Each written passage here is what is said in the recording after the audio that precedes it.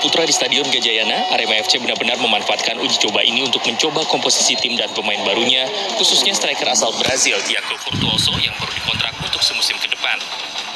Sejak pertandingan dimulai, kedua tim langsung bermain terbuka. Beberapa kali peluang tercipta bagi kedua tim, namun hingga babak pertama usai, kedua tim masih belum mampu mencetak gol.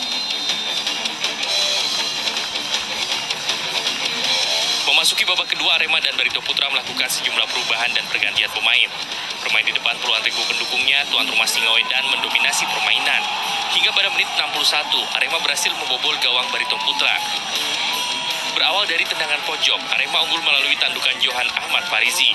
Skor 1-0 untuk tuan rumah. 12 menit kemudian tuan rumah berhasil menggandakan keunggulan melalui Muhammad Rafli yang baru masuk menggantikan Rodrigo Santos. Skor 2-0 untuk keunggulan Arema FC bertahan hingga peluit panjang ditiup. Usai pertandingan, kedua pelatih mengaku puas dengan laga uji coba ini.